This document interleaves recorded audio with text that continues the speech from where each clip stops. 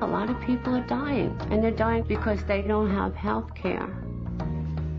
Medical care is definitely a right. Nobody should be turned away. If you don't have health insurance, you're not going to make it. The big issue is your money or your life.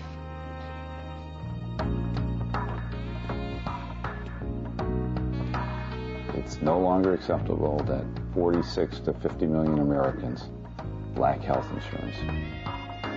You spend most of your life working, but once you don't have health insurance, everything that you worked for your whole life will just go.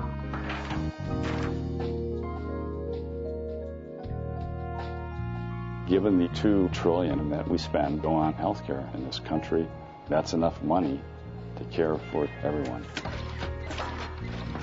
We're the only major industrialized nation that doesn't have a national health care.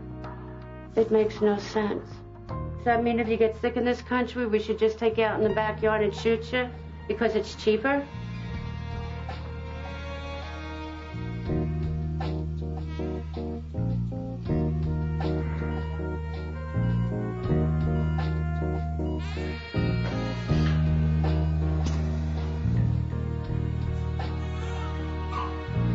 Crazy.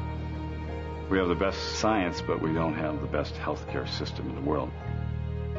It shouldn't matter whether you've got a $20,000 a year job. Your life is just as important as somebody else's that makes a lot of money.